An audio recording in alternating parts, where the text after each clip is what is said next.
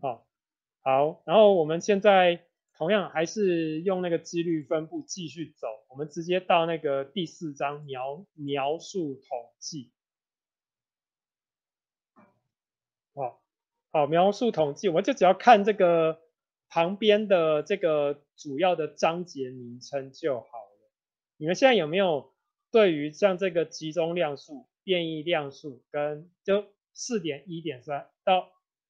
前三就是到偏态与风度这三这三大节的标题，你们现在有没有看到它们都有对应到那个？几率分布的重要特重要特征有没有？哦，它首先你们可以可以也同样用 sincerely 在这边，因为你们我们可以看到，当我们选了，例如说这个这个任何一一一个几率分布的时候，它一定都会给我们它的除了给一个它的一个什么那个几率密度函数公式，还会给我们它的。平均值跟期望值跟变异数，还有呃 continuous 也也也是一样，好都会有这些，就是一定都会有这个期望值跟变异数，所以今天你们我们所学的描述统计，我们常用的呃集中量数或变异量数其实都是在我们呃先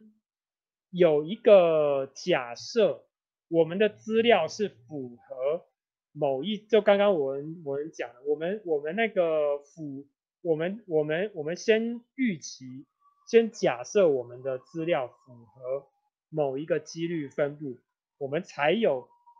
才我们我们才有条还有条件去。计算某一种的平均量数，集某一种集中量数或是变异量数，好，呃，好，对不对？好，那刚刚我们不是有讲到，刚刚那个你的作业都有记哈，那个可以用集中用那个转换成 z 分数跟跟 t 分跟 t 跟 t 分数的集中量数，你们觉得是？这边有讲到平均数、中位数跟众数，你们觉得有这三个，有哪一个是比较是可以转换成那个 t z 分数或 t 分数？就有哪应该说哪一些，哪一些可以？好，你们不清楚，你们可以跳到其中的某每一每一节就去稍微瞄一下那个公式就知道。就是这三个平均、中位数跟众数，哪一个可以转换成 z 分数或 t 分数？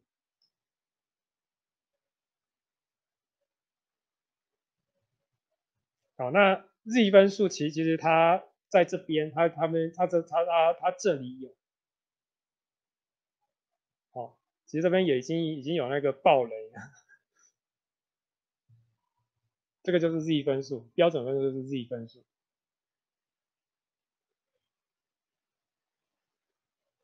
OK，现在你们可以知道这是为什么那个集中量数，我们通常那个会用 z 分 z，我们通常都要去去先计算出那个平均值的原的原呃原呃原因哈，就是。因为现在我们我们我们是是有充分的的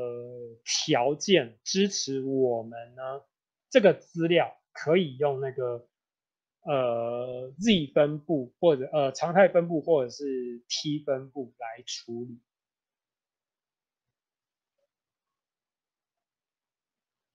OK，好，那这些。呃，公式我是不想一个一个一个一个重新说，你因为我这里都有翻成中文的，你们自己看就可以。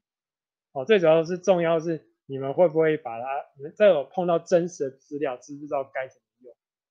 好，不过刚刚我们看标准分数那边带呃带出了另外一个东西，就是标准差。好，标准差我们其实其实它是。变异量数的其中一其中一种。好，那这边变异量它它介绍的还蛮还蛮多的，有介绍到了那个那那那呃五呃一二三四五这五种。好，那我刚刚问我刚刚不是介绍卡方，我们在谈卡方分布跟 F 分布的时候，有提到说它的量数。是必须要是平方符合平方定义的，那么标准差可以吗？这就要问这一题，我这就要问这个概念，标准差哦，我们先看一下标标标准差的标准差的公式，哎有没有是？哎我这好像没有，哦有，你们要我们看一下在这里。你们觉得标准差它可以直接用那个用那个卡方分布或是 F 分布处理吗？凯泽觉得可以吗？那那那有没有其他同同学有意见？有意有不同的人见解？有人觉得不行？有意见？嗯。好吧，我跟你说，如果说是很龟毛的数学家会说，有开根号的就已经不是平方了。所以真正能够放用那个卡方或者是变异或者是呃 F 分布处处处理的只有变异数。哦，这也是为什么那个推论统计方法里面有一个叫变异数分析的原因就在这里。OK，你们现在只要知道这个就就够了。好，然后我这里做一个说明，因为这里有介绍一个有一个这个变异量数是我很少在很在其他统计书上有看过的。哎，哦，这里对对，这是这个四分位间距。好，四分位数间距。哎，它这边应该是有一个。四分位数间距呢，有一个平均绝对差。哦，没有没有没有，我搞错了。哦，本来本来是想要跟你们讲一个的，但是，嗯，我想一下。哦，这边这边这边这个中这边有一个细节啦。它我因为我是。在翻译的时候，我是注意到有这个是在这这里有一个平均数绝对差，它有一个亲戚叫做中位数绝对差。好，那这个东这个东西哈，让刚刚在集中量数中，我我们我那个我们少少少谈到的一个量数呢，让它有可以用。常态分布跟 T 分布处理的机会了，就是中位数搭配这个中位数绝对差的开根号，它就有办法变成用 z 分数，它也是一种变成一种 z，也是一种 z 分数了。那这个在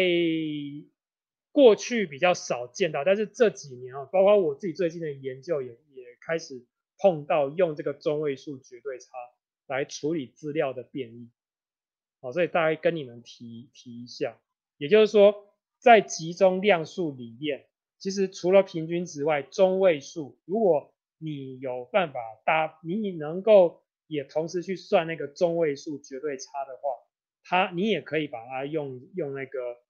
用那个 z 分，用常态分布或者是呃 t 分布来去处理它。哦，不过到底那个我们实际的资料要会用用，不就是你们会碰到的实际资料会不会用到，那是另外一回事。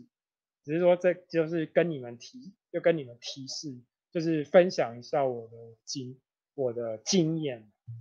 哦，那这里唯一的孤儿就只有种树，那他，那他真的就是说，呃，它不，它它其实是一个纯粹描述用的量数。哦，大部分的状况下，那真正你要能够用到推论方法的，通常都是要它有一个几率分布上的一上的特征。好，所以你们在这里可以在经过那个重新再学习过几率跟几率分分布后，可以再重新再去检视描述统计里有哪些量数。啊，其实偏态和分和风和风和风度也是一种那个几率分布的那个，就是刚刚讲到那个我们在 T 检定，哦 T 检定这边看到的这个浪吧，它其实比较我自己觉得，我是觉得它比较像是那个偏态的参数。我刚刚一直想，一直一一一时之间想不到适当的名，想不到适当适当的名，适当的解解释啊，就是在你们可以这个另外做个做个笔笔笔记，就是这个 T 分布这里开始看到这个浪这个浪法，它其实是一种那个代表几率分布那个偏态的参数。哦那当然也可以，当然也有一些几率分分分分分布比较复杂的，它就会有要有参数去代表它的风度。哦，不过不过我们还还还还不会碰到，因为会碰到这个风度的几率分分分分布哈，就代表说你所探讨的这个资料性质呢，已经超出了人类所生存的三度空间。哦，这个有兴趣你们去看我这里介绍到那个什么偏态跟风度的公式，就瞄一下就就就就就就知道我为什么要这样说了。哦，你们只要当做是个你们这辈子不知道会不会碰到的都市传说就够哦。好，好，那这个描述统计的这个这个。复习提示有没有问题？好，没有啊，我们就最后来看统计图。